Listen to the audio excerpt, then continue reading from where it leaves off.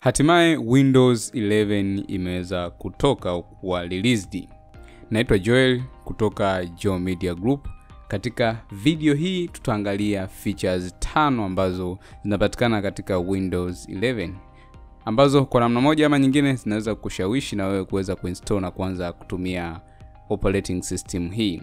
Kwanza kabisa tuangalie sifa za kompyuta ambayo inaweza kuinstall au kutumika na Windows 11. Kwanza kabisa hakikisha kompyuta yako ina processor ambayo ni moja au zaidi, kwa maana 1 gigas and above, lakini pia uh, RAM hakikisha ni 4GB, storage ya SSD au hard disk yako hakikisha ni 64 GB. Pia make sure kama una graphics card, make sure iko compatible, kwa maana iwe na match na mashine yako ili kuweza kuhakikisha una, unaweza kuinstall window hii. Pia display 720 HD inatosha kabisa wewe kuweza kuinstall na kuanza kutumia Windows 11. Uh, tuangalie moja kwa moja features tano ambazo zinapatikana ndani ya Windows 11. Kwanza kabisa ni start menu. Ukiangalia Windows za nyuma, uh, start menu ilikuwa iko upande wa kushoto kabisa hapa chini, lakini kwa Windows 11 tofauti. Uh, start menu inapatikana hapa uh, sehemu ya katikati. Unaweza ukaona baada ya kukliki, hii ndo start menu ambayo inakuwezesha wewe kuona software mbalimbali ambazo umeweza kuinstall. Kwa mfano hapo unaweza ukaklik ukaona all apps ambazo umeweza kuinstall katika kompyuta yako. E, zi, ambazo ziko pinned kama unavyoweza kuona, lakini pia kuna recommended ambazo zilikuwa opened muda sio mrefu. Lakini ukishuka hapa chini upande wa kulia utaona kuna power, unaweza uka sleep, unaweza uka shut down, lakini unaweza uka restart computer. Lakini kitu kingine cha kuvutia zaidi, kila unapofungua Windows au page yoyote ile ndani ya Windows 11 unaweza ukaona edges ziko rounded, haziko sharp kama ilivyokuwa kwenye Windows 10 na Windows zingine. Kwa hiyo ni advancement hizo ambazo zimefanywa uh, kwenye hii Windows 11. Uh, feature ya pili ambayo ni nzuri ndani ya Windows 11 ni uh, new Microsoft Store. Uh, baada ya kufanya marekebisho au update hizo uh, Windows 11 imekuja na feature ya kuwa na store, Microsoft Store ambayo ina software mbalimbali mbali ambazo uh, zinakuwezesha wewe kufanya shughuli zako mbalimbali. Huku unaweza ukapata games, unaweza ukapata software mbalimbali mbali ambazo zinapatikana na ambazo zinaweza kukuwezesha, unaweza ukacheki movie kupitia Netflix pamoja uh, na software zingine nyingi ambazo zinapatikana ndani ya Microsoft na Store ambayo inapatikana kwenye window 11. So una kila sababu hata yawe pia kuweza kuipata window hii na kuweza kuenjoy au kuanza kuitumia. ficha ya tatu ambayo ni mpya na ni nzuri zaidi unapotumia software ya au operating system ya Windows 11 ni kuwepo kwa uh, kwamba hii software au operating system hii ina support Android app, kwa maana unaweza kuinstall software yoyote ambayo inakubali au inakaa kwenye simu ya Android na ukaiweka kwenye kompyuta yako. Kwa mfano unaweza ukaweka WhatsApp, unaweza ukaona mimi nimeweza kuinstall uh, WhatsApp kupitia uh, Windows 11, lakini pia unaweza ukaweka Instagram, ukaweka TikTok. Kuna software zingine zote ambazo zinaweza kukaa au kukubali kwenye simu ukaziweka kwenye kompyuta yako na ukaweza kuenjoy. Kwa hiyo hicho ni kitu kizuri ambacho kinakurahisishia wewe badala ya kuweza kuskani au kutumia browser tofauti kupata uh, hizo software ambazo zinakaa kwenye simu, unazipata moja kwa moja kupitia kwenye Microsoft Store ambayo inapatikana kwenye hii Windows 11. ficha ya nne ambayo inapatikana ndani ya Windows 11 ni kwamba unaweza kusnap kadri unavyoweza.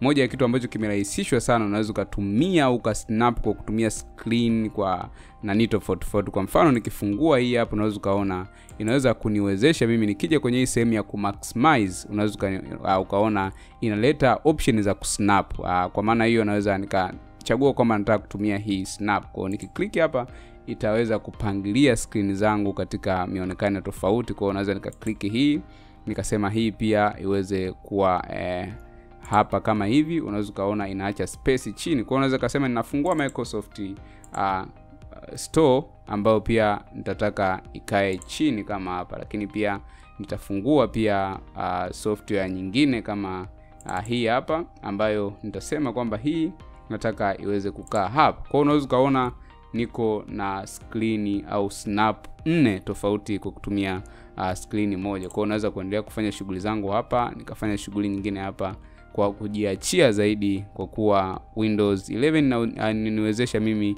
kusnap kiurahisi zaidi ninapoitumia.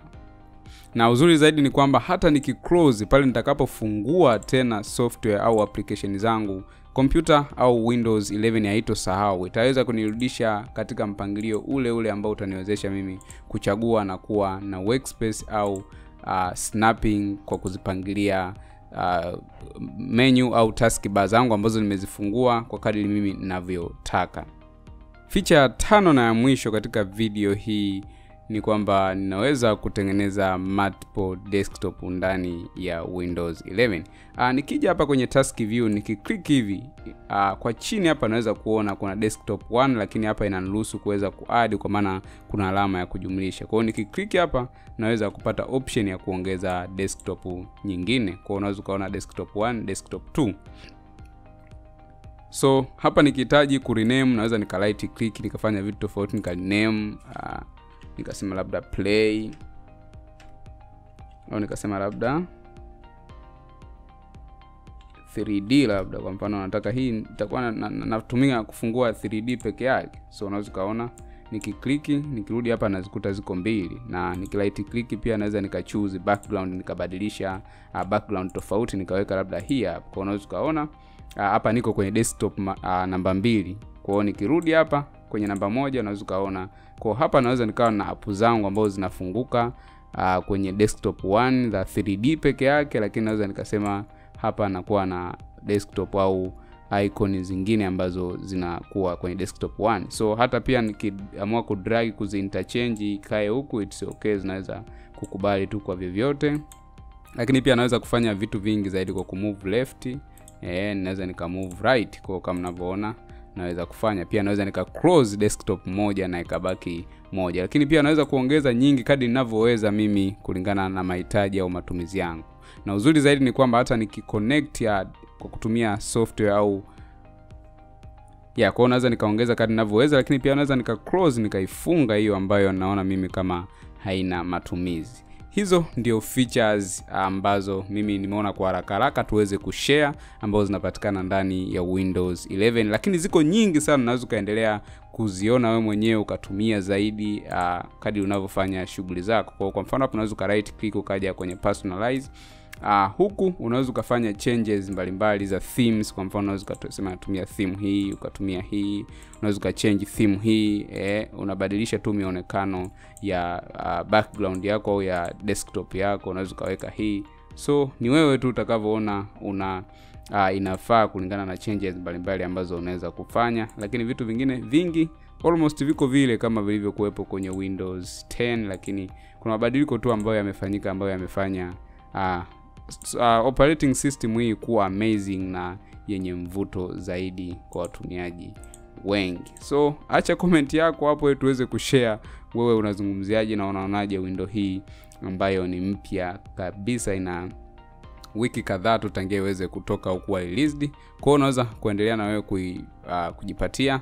Nitakuwekea linki kwenye description hapo ili uweze kudownload na wewe uweze kujaribu kuinstall na kuitumia windows 11 ili uweze kuenjoy features hizo ambazo nimeweza kueleza lakini pia ziko nyingi ambazo sijaweza kuzisema uh, ili video isiwe ndefu ikakuboa.